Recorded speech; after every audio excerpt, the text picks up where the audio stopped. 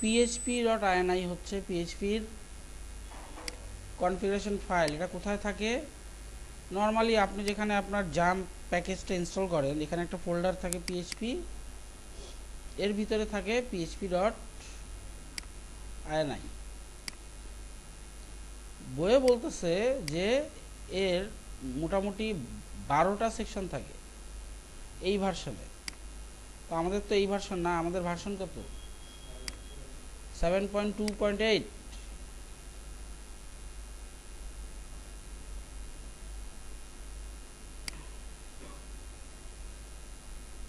okay তো এই ফাইলের কথা বলতেছে, এই ফাইল খুবই ইম্পর্টেন্ট একটা ফাইল এবং কনফিগারেশন ফাইল। না বুঝে শুনে এই ফাইলে একটা স্পেসও দেওয়া যাবে না। কোনো রকম স্পেসও চেঞ্জ করবেন না।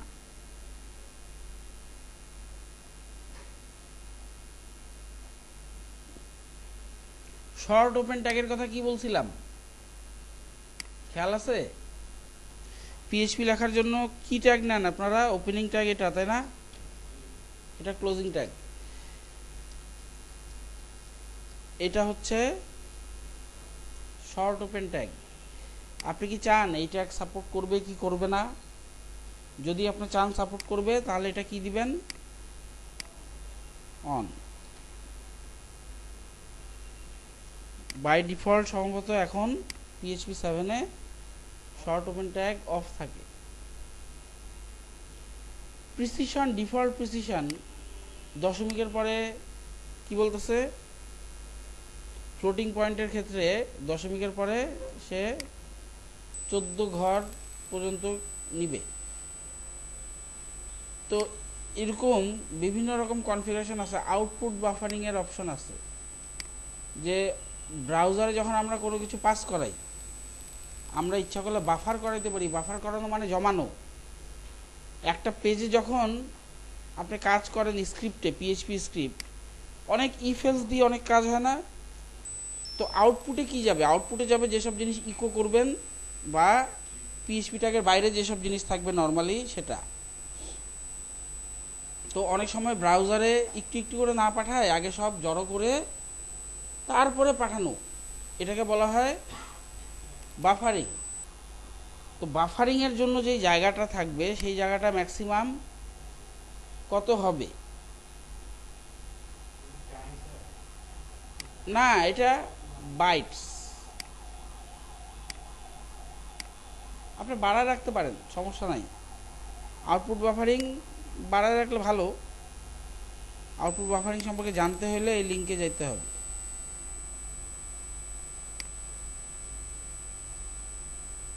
আউটপুট বাফারিং আছে। এখানে তো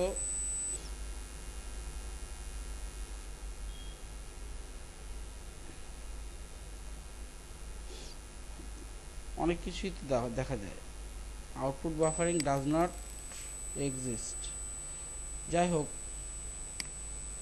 এখানে ছিলাম না, আমরা টুয়েলভ সেকশনের মধ্যে language safe mode syntax highlighting miscellaneous তো নর্মালি এই পেজটাতে দেখবেন, এইভাবে কিছু ঘর আছে। এই যে এইভাবে বক্সের ভিতর কিছু ঘর বানানো হয়েছে। এই বক্সগুলোই হচ্ছে এক একটা সেকশন তো একটা বক্স হচ্ছে language option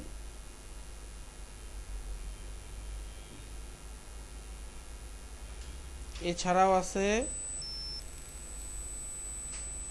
miscellaneous error handling and logging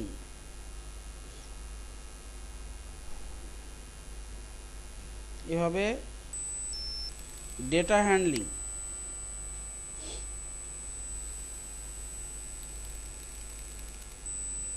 paths and directories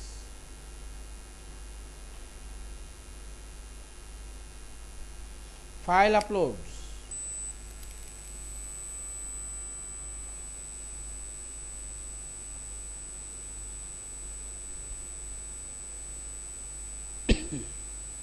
এটা গুরুত্বপূর্ণ। আপনি যখন কোনো ফাইল আপলোড করবেন, দুই মেগার উপরে কোনো ফাইল হইলে আপলোড নিবে না। কারণ এখানে বলা আছে, যেসব ফাইল আপলোড করবেন ম্যাক্সিমাম সাইজ কত হতে পারবে? দুই মেগা। এগুলো সবই আমরা আস্তে আস্তে জানব ডায়নামিক এক্সটেনশন তো এরাই হচ্ছে বিভিন্ন মডিউল সেটিংস যেই ভালোগুলা এখানে বলা হচ্ছে, এই জিনিসগুলো আছে। তো প্রথমেই বলতেছে শর্ট ওপেন ট্যাগ কোনটা? এইটা। এটাকে বলা হয় শর্ট ওপেন ট্যাগ। নর্মালি এটা অফ থাকে, ইচ্ছা করলে যদি আপনি অন করেন, তাহলে আপনি পিএইচপির কোড লেখার সময় এইভাবে লিখলেও হবে। তবে স্ট্রংলি সাজেস্ট করা হয় যে এটা যেন আপনি ইউজ না করেন। এটা অপশন আছে, কিন্তু এটা ইউজ করার চেষ্টা না করাই বেটার আচ্ছা অ্যাপাচির কনফিগারেশন ফাইলের নাম হচ্ছে এইচটিডিপিডি ডট কনফ আর ডট এসটিএক্স এটা তো বললাম, তাই না? এর বেশি আপাতত জানার দরকার নাই। হ্যাঁ একটা ইম্পর্ট্যান্ট কনসেপ্ট সেটা হচ্ছে ম্যাক্স এক্সিকিউশন টাইম এখানে আছে কি না? Control F max under score আছে। ম্যাক্স এক্সিকিউশন টাইম এখানে আছে পিএইচপি ডট আইএনআই এটার মানে কি? এটার মানে কি?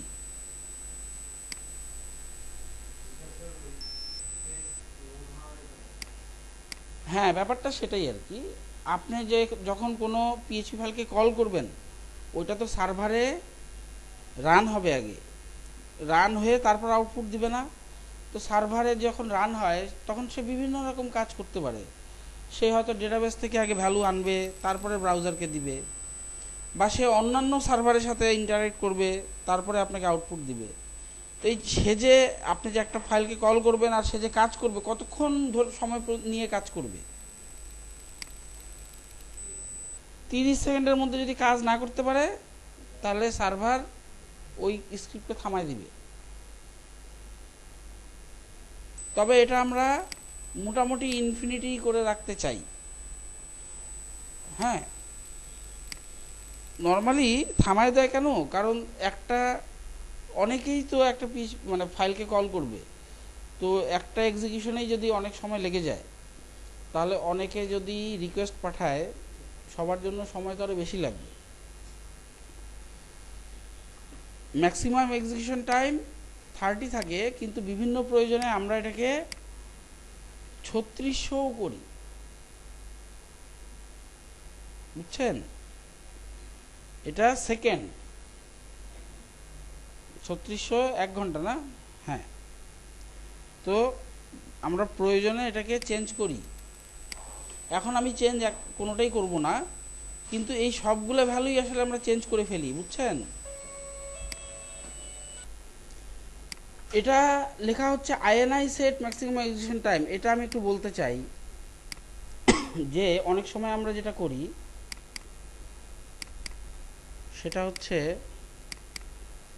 আপনার এখানে কিছু টাইম আছে। সাপোজ আপনি একটা ফাইলে কাজ করতেছেন। Resize all server images dot PHP আপনি একটা ফাইল বানাচ্ছেন, যেটার নাম হচ্ছে রিসাইজ অল সার্ভার ইমেজেস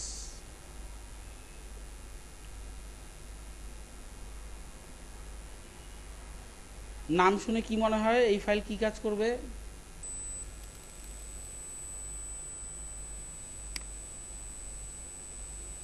কে এটা? রংধনু?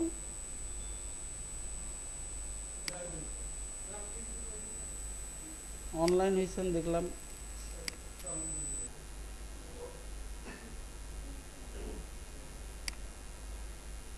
এটা কে? এটা তো আমি। আমার ছবি কে দিছে এটা?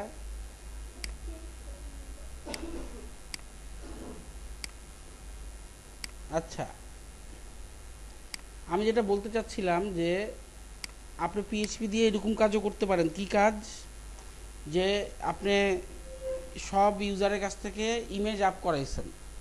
এখন আপনার সার্ভারে ইমেজ হয়ে গেছে পাঁচ লাখ। পাঁচ লাখ ইমেজ হইতেই পারে। ফেসবুকের কথা যদি চিন্তা করেন, তাহলে সেকেন্ডে মনে হয় পাঁচ লাখ ইমেজ আপ হয়। আর আমার হয়তো দুই বছর ধরে সাইট চলছে, পাঁচ লাখ ইমেজ এরকম। এখন দেখা যাচ্ছে ইউজাররা মোবাইল ফোন ভালো ভালো মোবাইল ফোন চলে আসছে। ইমেজ সব আপ করতেছে এক একটা হচ্ছে পাঁচ মেগা, ছয় মেগা করে সাইজ আবার ইমেজটাও অনেক বড়। আপনি লক্ষ্য করছেন, কোনো বড় সাইজের ইমেজ আপ করলে ওটা ছোট হয়ে যায়? কীভাবে? কীভাবে হয়? আপনি একটা পাঁচ মেগার ইমেজ আপ করেন তো আপ করবেন। আপ করে আবার ডাউনলোডও করবেন। সেভ সেভ করবেন। দেখেন তো আপ করার ইমেজের সাইজ আর ডাউনলোড করার ইমেজের সাইজ এক কিনা? সে অপটিমাইজ করে নেয়। এটা পিএইচপিতে করা যায়। তো আমি একটা স্ক্রিপ্ট বানাতে পারি, যার কাজ হবে সার্ভারে আমি আপ করানোর সময় কোনো ইমেজই কি করি নাই কম্প্রেসও করি নাই, ছোটও করি নাই। এখন আমি একটা ফাইল বানাতে চাই, যার কাজ হবে পাঁচ লাখ ইমেজকে কম্প্রেস করা। এটা করতে তো আমার পাঁচ দিনও লাগতে পারে, পাঁচ ঘন্টাও লাগতে পারে। কতক্ষণ লাগবে এটা মেশিনের উপর ডিপেন্ড করবে। মেশিনের স্পিড কেমন? তো সোজা কথা হচ্ছে, এই স্ক্রিপ্টটা তিরিশ সেকেন্ড চালানোর পরে যদি থেমে যায়, তাহলে কি হবে? আমার তো সময় বেশি লাগতে পারে। তো প্রত্যেকটা স্ক্রিপ্টের আগে আপনি আয়নাই সেট এই ফাংশনটাকে কল করতে পারেন। এই ফাংশনে কি দিতে হয়? ভেরিয়েবলের নাম আর ভ্যালু ভেরিয়েবলের নামগুলো কোনগুলা? এগুলা হচ্ছে নাম। বুঝছেন?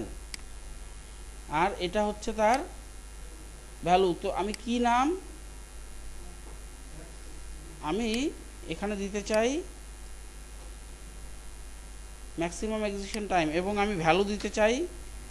এই পেজের জন্য আমি ভ্যালু দিতে চাই অনেক বড় একটা ভ্যালু। সাপোজ এইটা দিয়ে যদি আপনি এই পেজে কোড লিখে রাখুন এই পেজটা এত সেকেন্ড পর্যন্ত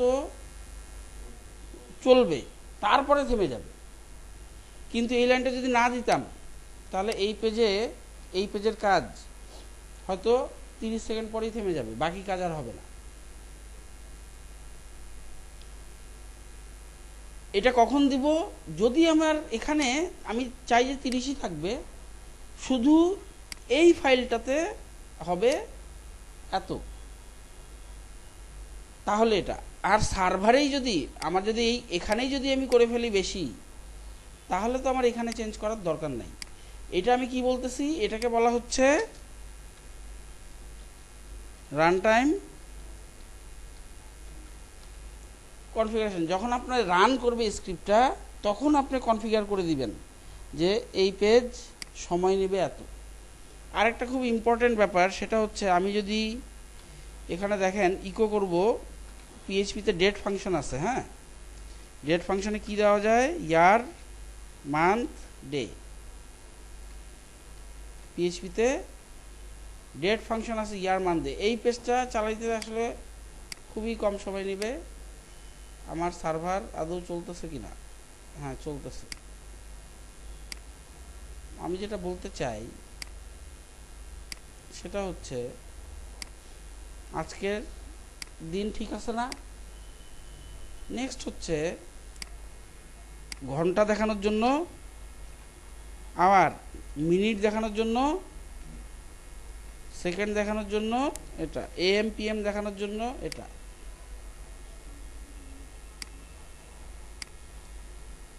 এটা ঠিক আছে টাইম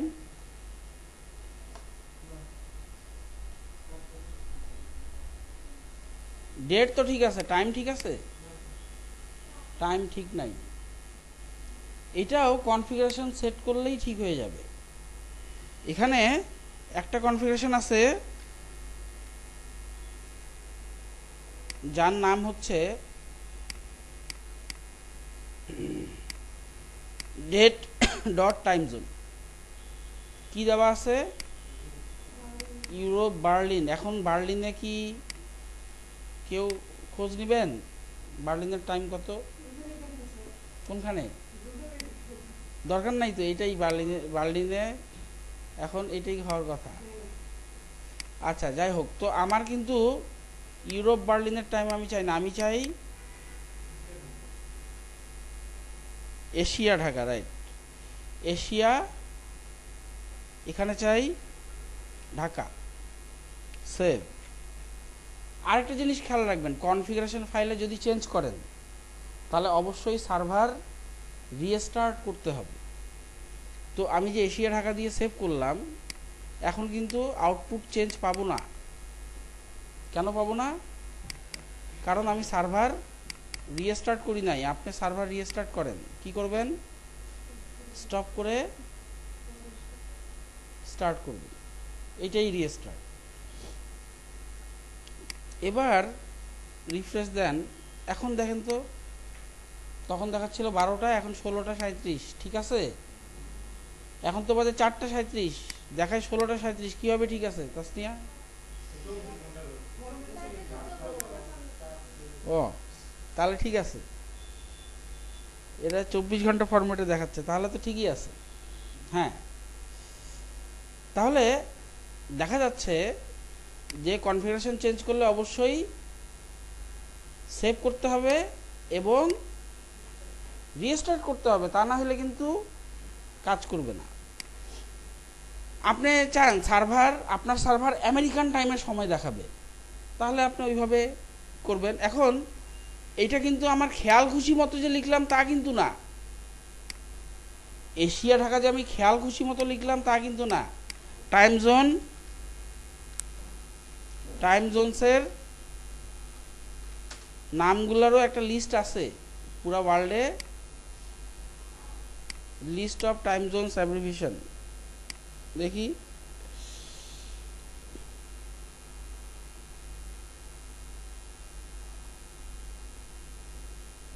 এটা তো না, আমরা যেটা চাই, টাইম জোনস লিস্ট। না, আস্তানা রাশিয়া ওটা আর আমাদেরটা একই লেভেলে আর কি। রাশিয়ায় হচ্ছে আস্তানা। হ্যাঁ। আচ্ছা list of time zones by country দেখি। এখানে রাশিয়া, আমরা যেটা বলতেছিলাম সেটা তো এখানে নাই, তাই না? যেমন আমরা চাচ্ছিলাম আসলে এশিয়া, ঢাকা পিএইচপিতে দেখা যাচ্ছে আছে, তাই না? তো পিএইচপি ডট নেটে গেলেই হয় আসলে। এই যে এখানে time zones Asia dot PHP তাহলে শুধু টাইম জোনস ডট পিএইচপি আছে কি না? আছে list of supported time zones আপনি এশিয়ার যদি দেখতে চান, আপনি যদি ঢাকারটা সেট করতে চান, তাহলে আপনি দিবেন এশিয়া স্ল্যাশ ঢাকা। কোন জায়গায়? এইখানে। ওকে, এখানে আর সময় নষ্ট না করি। এইভাবে বিভিন্ন কনফিগারেশন ফাইল আছে। আপনি চান অন্যান্য সব পেজে দুইটা দুইটা পেজ আছে আমার। এটা একটা পেজ এটা আরেকটা পেজ ডেট ডট পিএইচপি একই কোড এখানে যা ছিল কপি এখানেও তাই আছে। কিন্তু এখানে আয়নাই সেট করা আছে। আয়নাই সেট করা আছে কি?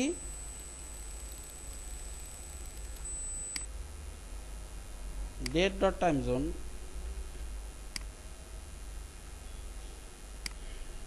কি সেট করা আছে। ইউরোপ স্ল্যাশ বার্লিন বানান কি? এন, ই আছে নাকি? মনে হয় বললে তো হইল না।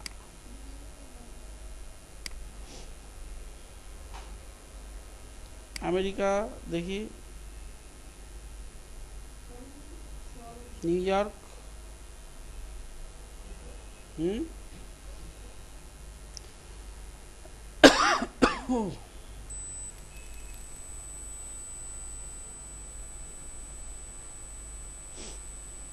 এটা না দেখি তো কপি কি দিব এটা? এটা সেভ আমরা একটু চেক করে দেখব যে এইখানে টাইম এটাই দেখায় ব্যাক এইখানে টাইম দেখায় ছয়টা একচল্লিশ এ এম দেখছেন? এখন আপনি বলতে পারেন, আমি তো কনফিগারেশনে বলছিলাম এশিয়া, ঢাকা, তাহলে এ এম নিল কেন? আর ছয়টা একচল্লিশ, ভোর ছয়টা একচল্লিশ বা সকাল ছয়টা একচল্লিশ নিল কেন? কারণ আমি এই ফাইলে বলে দিছি যে এই ফাইলের জন্য শুধু তুমি টাইম জোন নিবা এই টাইম জোন সুতরাং আমার সার্ভারের এখন যেই টাইম এশিয়া, ঢাকার, তার থেকে আমেরিকার কি করতে হবে? সে ভিতরে ভিতরে করতেছে, আমাকে কিছু করতে হচ্ছে না। আমি জাস্ট এখানে সেট করে দিলাম যে তুমি এশিয়ার ইয়ার টাইম জোনটা দেখাও। তো খুব ইন্টারেস্টিং কাজ কিন্তু। বুঝছেন? ওকে তো এটা important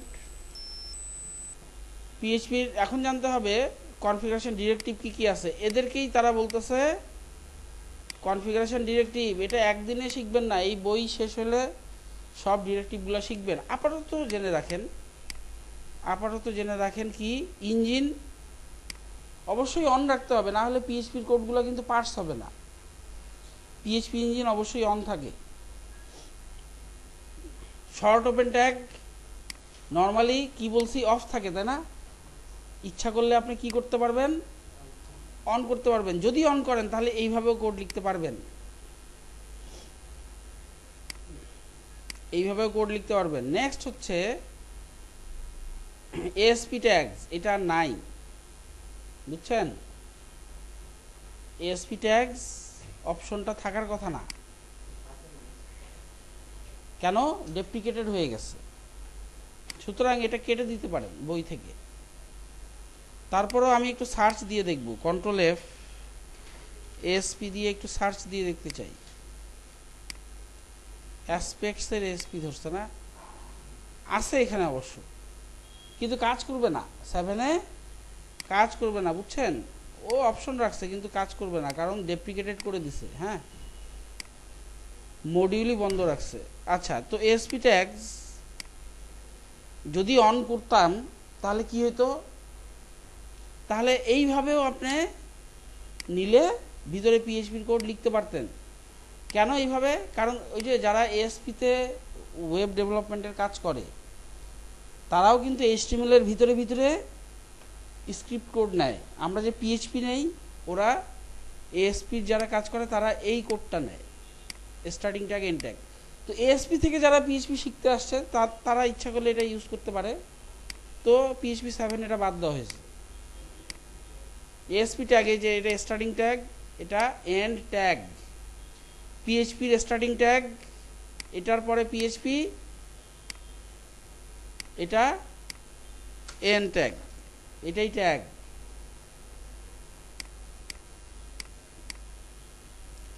ASP tag output buffering on আছে অফ আছে ইন্টিজার আছে। আচ্ছা এটা ডিফল্ট কি থাকে একটু দেখতে চাই।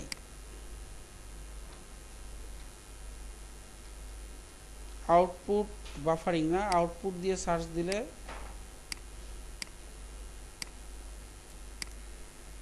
Output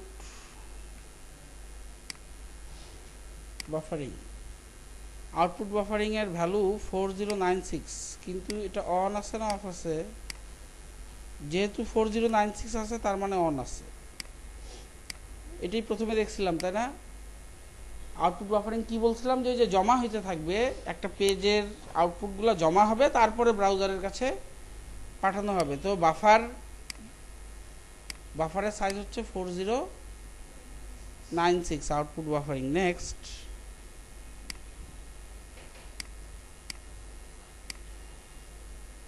default value four zero nine six আচ্ছা এটা একটু পড়বেন, এই যে দাগানো আছে হোয়াট ইজ আউটপুট বাফারিং আমি যেটা বললাম সেটাই বলা আছে।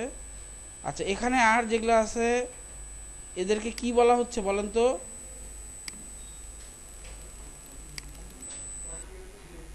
এদেরকে বলা হচ্ছে কনফিগারেশন ডিরেক্টিভ কনফিগারেশন ডিরেক্টিভ তো কনফিগারেশন ডিরেক্টিভ অনেক আছে। আপনার এগুলা না জানলেও চলবে। সেফ মোড আছে। Safe mode control F safe mode দিয়ে একটু সার্চ দিত সেফ মোড নর্মালি কি থাকে? অফ থাকে। সেফ মোড যদি অন করেন তাহলে কিছু স্পেশাল ফাংশন আর আপনি রান করাইতে পারবেন না। স্পেশাল ফাংশনগুলো তো আমরা শিখি নাই, সুতরাং বুঝতেছি না, কিন্তু ফাংশনগুলো এরকম। Exec system CH mod CH own CH GRP F open F close F write এরকম বিভিন্ন সেন্সিটিভ ফাংশনগুলো চালাইতে পারবেন না যদি সেফ মোড অন থাকে হ্যাঁ? তো এই সবগুলো আমরা জানব। পিএইচপির একটা স্ক্রিপ্ট চালায় মেশিন বন্ধ করে দেওয়া সম্ভব। বুঝছেন? শাটডাউন মেশিন শাটডাউন করার জন্য আপনি চেক করতে পারেন যে শাটডাউন কমান্ড উইন্ডোজ কত? সেভেন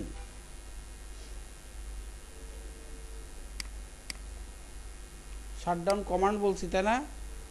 আপনি এটা লিখতে পারেন শাটডাউন আচ্ছা এটা তো বোঝার জন্য আপনি যদি আর কিছু দেয় নাই, তো নাও দিলে টাইমও দেওয়া যায় না। এখানে আর দেয় নাই, এখানে আর দেয় নাই। Shutdown now. Shutdown slash S দিলে কি হবে আপনার মেশিন শাটডাউন হয়ে যাবে। শাটডাউন লিখে স্ল্যাশ আর দিলে কি হবে আপনার মেশিন রিস্টার্ট হয়ে যাবে কমান্ড থেকে। তো এরকম কমান্ড আপনি পিএইচপিতে লিখে ইএক্সিসি দিয়ে চালাইতে পারেন। এই ফাংশনগুলোর কাজ হচ্ছে আপনি সিস্টেম সিস্টেমে কমান্ড পাস করাইতে পারবেন। আবার সিস্টেম যেটা রিটার্ন দিবে সেটাও দেখতে পারবেন। তো এটা করা সম্ভব।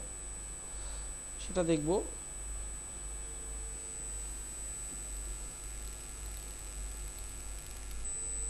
ডিজেবল ফাংশন এটার কাজ হচ্ছে, যদিও আমরা ইউজ করি না সার্ভারে ইউজ হয়। ডিজেবল ফাংশনের কাজ হচ্ছে পিএইচপিতে অনেক বিল্ট ইন ফাংশন আছে।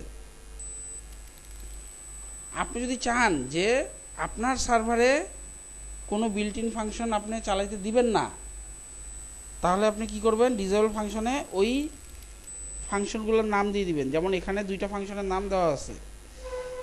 ইএক্সিসি আর সিস্টেম এই দুটা খুব পাওয়ারফুল ফাংশন এটা দিয়ে উইন্ডোজে যে কোনো কমান্ড রান করানো যাবে। শুধু উইন্ডোজে না অপারেটিং সিস্টেমে আর কি। তো এই জন্য সার্ভারে বেশিরভাগ সময় এই দুটা ফাংশন বন্ধই রাখা হয়। ডিজেবল ক্লাসেস আপনি যদি চান কোনো ক্লাস ডিজেবল করে দিবেন, তাহলে ডিজেবল ক্লাসেসের ভিতরে ক্লাসের নামগুলো কোটেশনে কমা দিয়ে দিয়ে দিবেন।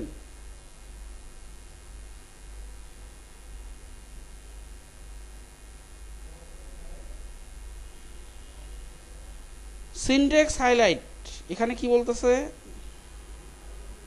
হাইলাইট কমেন্ট দরকার নাই।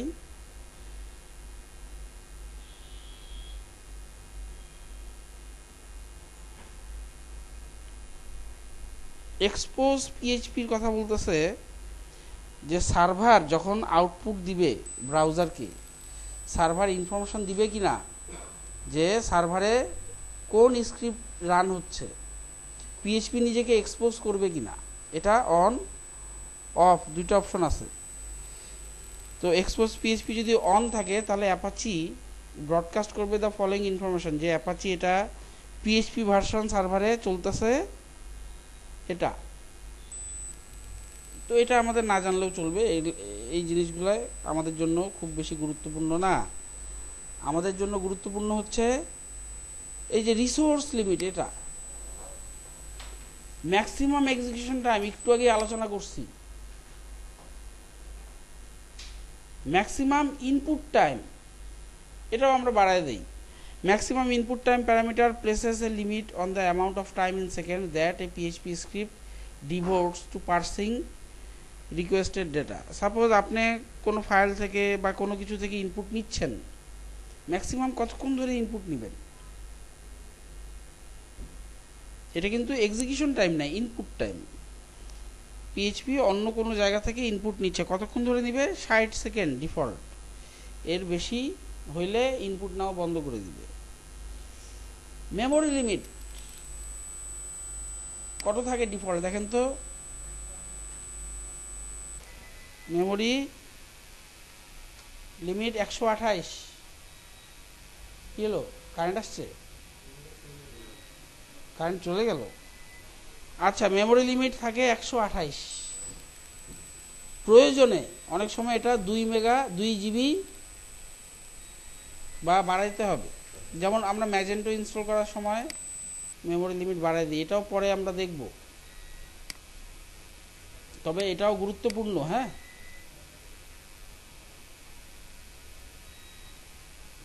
এটা একটু আপনারা পড়বেন, তবে শুধু জেনারেল এটা পড়বেন বোঝার জন্য হ্যাঁ?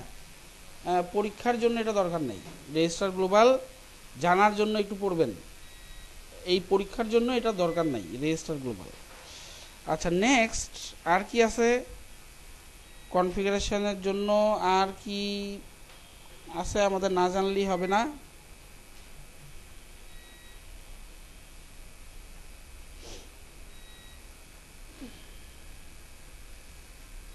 আর কিছু নাই। তো এখানে memory limit maximum execution time maximum input time আর ডিসপ্লে এরোর্স এটাও ইম্পর্টেন্ট ডিসপ্লে এরোর্স হচ্ছে আপনার পেজে যদি কোনো এরর হয়, সেই এররটা ডিসপ্লে করবে কি করবে না? ডিসপ্লে এরোর্স আমি অফ করলাম। সেভ অফ করে সার্ভার স্টপ করে স্টার্ট করলাম। এবার এখানে হয়তো কি দিলাম? আইএনআই আই সেট এই নামে তো কোনো ফাংশন নাই। ডেট এটা না? দেখেন, এখন কোনো এরর দেখাইছে? কিন্তু বলতেছে যে এই পেজ কাজ করতেছে না। কি জন্য কাজ করতেছে না সেটা কিন্তু বলে না। শুধু বলছে this page is not working এটা নর্মালি আপনি যখন কোথাও ডোমেন কিনবেন, এরকম এরর দিবে। কারণ ওরা নর্মালি চায় না এররটা সব ইউজাররা দেখুক। কারণ সার্ভারে যখন আপনি যদি এরর হয়, ওটা তো যেই চালাবে, সেই দেখবে এরর এবং এররটা কোথায় হয়েছে সেটাও দেখা যাবে। যেমন ডিসপ্লে এরর অন করলাম হ্যাঁ? স্টপ করে স্টার্ট করলাম এবং রিফ্রেশ করলাম। এখন কিন্তু আমাকে দেখায় এরর কি। বলতেছে, আপনি এমন একটা ফাংশন কল করছেন যেটা ডিফাইন করা হয় নাই বা যেটা তৈরি নাই, যেটাকে চেনে না পিএইচপি আই আই সেভ তো এরকম এরর যদি সবাই দেখে ফেলে, সবাই কিন্তু আরও অনেক কিছু দেখে ফেলবে যে ফাইলটা কোথা থেকে চলতেছে। তো এরর হইলেও কিন্তু বিভিন্ন রকম প্রবলেম আছে। এররটা কোন জায়গা থেকে চলতেছে? কি ধরনের এরর হয়েছে কত নাম্বার লাইনে এরর কি কি ফোল্ডারের ভিতরে আছে? সব কিছুই সে দেখে ফেলতেছে।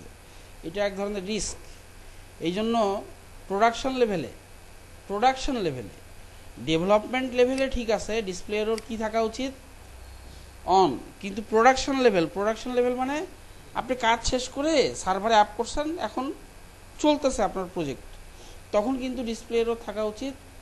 অফ এটা খেয়াল রাখবেন। আমরা যেহেতু এখন ডেভেলপমেন্ট মোডে আছি, এটা অন থাকবে।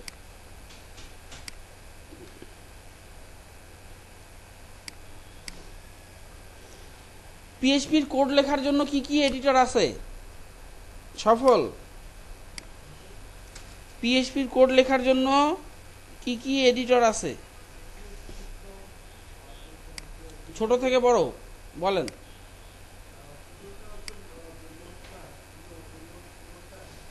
তারপরে?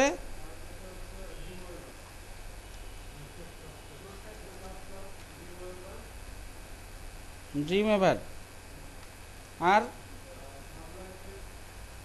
সাবলাইম টেক্সট আর? Visual Studio Code PHP Storm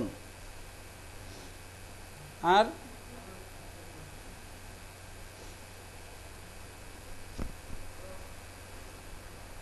আর আছে নাকি? হুম? ব্র্যাকেট আর কেউ আছে? হ্যাঁ? এই যে সাবলাইম টেক্সট তো আছে তো অনেক কিছুই আপনি যেটাতে স্বাচ্ছন্দ্য বোধ করেন, তাই না? বইয়ে বলতেছে ড্রিম ওভার নোটপ্যাড পিডিসি যেটা আমরা একসময় খুব বেশি ইউজ করতাম এক্লিপস ও, আরেকটা আছে পপুলার জাভার ব্যাকগ্রাউন্ডের যারা, তাদের, তারা কিসে কাজ করে?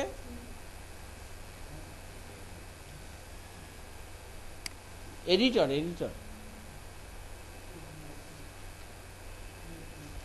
নেট বিনস আছে। এটাও পপুলার তবে একসময় আমরা এটাতে খুব বেশি কাজ করছি। এক্লিপস পিএইচপির আইডি খুব পাওয়ারফুল ছিল। এখন কি অবস্থা কে জানে? কিন্তু ভারী ছিল। যাই হোক, তবে ইয়ের মতো ভারী না। পিএইচপি স্ট্রমের মতো ভারী না। এর থেকে ভারী এ আমার মতো অবস্থা এর। পিএইচপি স্ট্রমের অবস্থা আমার মতো। ওপেন হইতে সময় নেয় অনেক। আমার আমার অবস্থা এরকম হয়ে গেছে। বুঝছেন উঠতে পারি না, উঠলে বসতে পারি না। এরকম হয়ে গেছে অবস্থা। হইতে হবে কার মতো? এটার মতো। তিরিং বিরিং করতে হবে মানে ইয়ের মতো। কার মতো তাসনিয়ার হ্যাঁ? সফলের মতো হইলে হবে। তবে এটা এটা কিন্তু ভালো। সাবলাইম টেক্সট কিন্তু লাইট এবং পাওয়ারফুল। এটার ইনস্টলার আমার কাছে নাই। তবে একটা ফোল্ডার আছে, ওই ফোল্ডারটা নিয়ে ওখান থেকে চালাইলেই ঠিক মতো কাজ করে। দেই নাই? আরে সাবলাইম টেক্সট তো এই যে এখানে আমি নিয়ে রাখছি সাবলাইম এইটাই। বুঝছেন? এইটাই সিম্পলি আপনিও আনজিপ করে যে কোনো জায়গায় রেখে দিবেন। তাহলেই হবে। ডবল ক্লিক করে ভিতরে একটা ইএক্সি ফাইল আছে, ওটা চালাইলেই চলবে। সাবলাইম ডট জিপ এখন এটা, আমি কি করছি জানেন? এটাকে রাইট বাটন ক্লিক করে আমি ইয়ে করে রাখছি। পিন টু স্টার্ট মেনু দিয়ে রাখছি। এখানে এই যে এটা, এখানে রেখে দিছি। ওটা কিন্তু চলে এখান থেকে। সাবলাইম পেজ দেখছেন কত ফাস্ট লোড হয়ে গেল? আবার এটা ডাউনলোড করতে যাবেন না আপডেট করতে যাবেন না, তাহলে কিন্তু হবে না। যাই হোক, তো এটা আপনারা নিতে পারেন। কোথায় আছে এটা?